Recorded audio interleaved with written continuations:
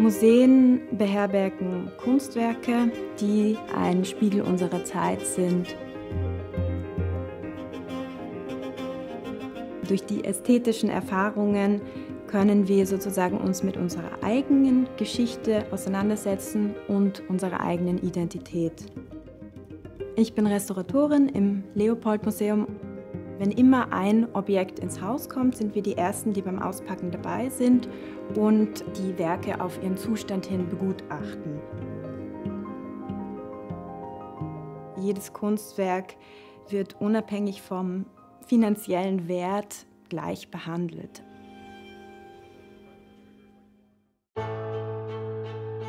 Ich glaube, es gibt wenige Leute, die an so einem wunderschönen Arbeitsplatz ihren täglichen Dienst verrichten können.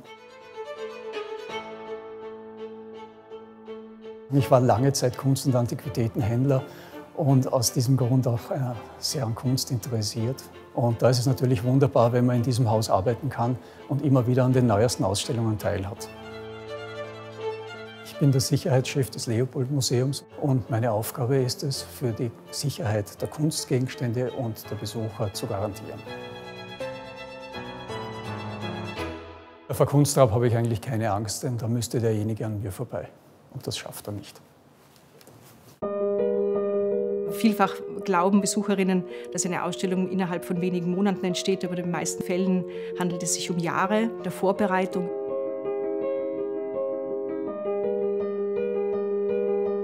Ich bin Kuratorin am Leopold Museum und entwerfe, konzipiere Ausstellungen.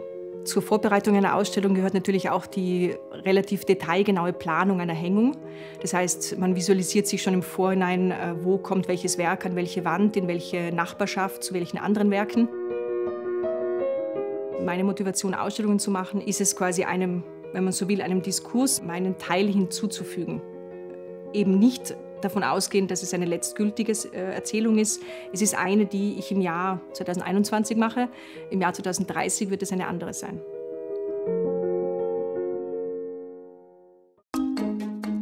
Also ein Museumsshop trägt ja Kunst auch nach außen. Das heißt Postkarte, Passepartout, jegliche Kunstdrucke, die man mitnimmt, nimmt man mit nach Hause, kann sie zu Hause aufhängen und hat somit sein kleines Erinnerungsstück aus dem jeweiligen Museum.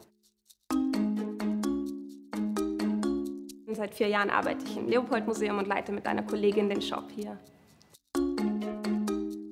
All das hier suchen meine Kollegin und ich aus und äh, fahren auf Messen und kaufen ein und das macht auf jeden Fall viel Spaß. Eine Welt ohne Kunst würde uns sehr viel ärmer machen. Es gibt einfach einen gewissen Sinn, der unser Leben erfüllt und der uns hilft, äh, vielleicht auch besondere Herausforderungen des Daseins zu bewältigen. Ich bin der Rektor des Leopold-Museums. Kein Museum kann äh, ohne Fördergelder oder mäzenatisches oder Sponsoring-Tätigkeiten existieren. Ähm, insofern braucht es langfristig denkende Kooperationspartner, die geben eine gewisse Sicherheit und sind unersetzlich.